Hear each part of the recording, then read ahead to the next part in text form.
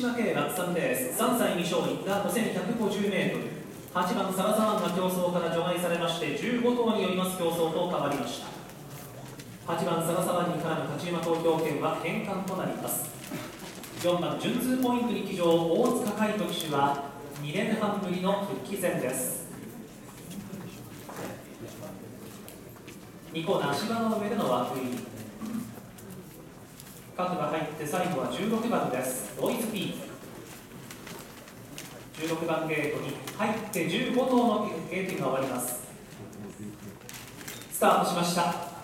デアリングヒューズは中段からの競馬松島の上先行争いは14番アーリオオーリオーダッシュ。芝からダートに移って内から行き足ついて1番マテンローボイスが先頭に変わります。3番オーフレッシュ2番手5番ミラーレイクが3番手に続いて4番手が11番バンクールシチー14番アーリオオーリオ5番手になりました。前がばらけてその後中段内から上がっていく6番ラムシックボッサ7番シークレットグロー。外16番ドイツピーク。さらに外上がっていった15番デアリングヒューズぐんぐん上がっていって今2番手まで飛びついて3コーナーに向かいます。その後12番ペイシャバキや2番カッターステート中段後ろ3コーナーカーブ。後方は4番ジュンツーポイント9番グランデメイ13番イデアノイデア後方から2頭目10番無常が最後方。400を切って4コーナーカーブ。先頭は1番マテンローボイス2番手に15番デアリングヒューズが上がって4コーナーから直線3番手は3番オーフレッシュ4番手は3馬身差で5番ピラーレイクと6番ラムシックコースタで200を切りました。粘る1番マテンローボイスを捉えている15番デアリングヒューズ前2頭抜けて3番手が3番オーフレッシュ粘る1番マテンローボイスむしろ突き放したデアリングヒューズ2番手3番手がオーフレッシュマテンローボイス押し切ってゴールイン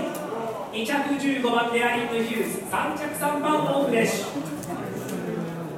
ダッシュよく飛び出した1番マテンローボイスを押し切りました。デアリングヒューズに迫られましたが最後に前押し迫られてからもう一足を使って押し切りました。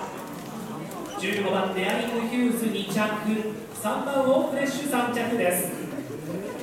勝ちタイムは1分8秒6初ブリンカーでマテンローボイス内から最内枠から先手を主張を押し切っています。8タイム1分8秒6上がりはゴールまでの 800m48 秒 3600m は36秒5でした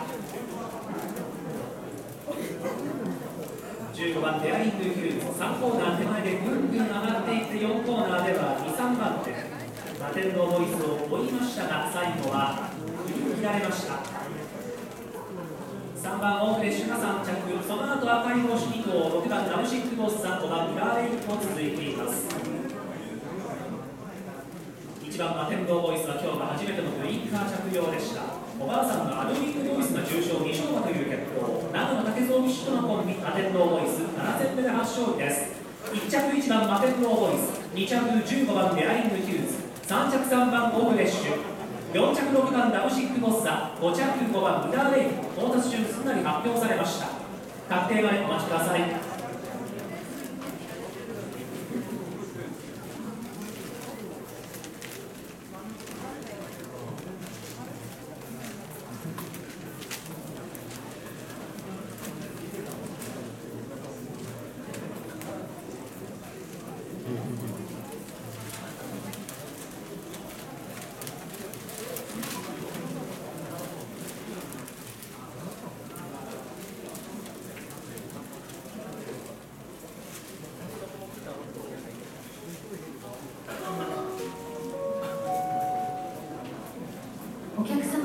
お呼び出しを申し上げます。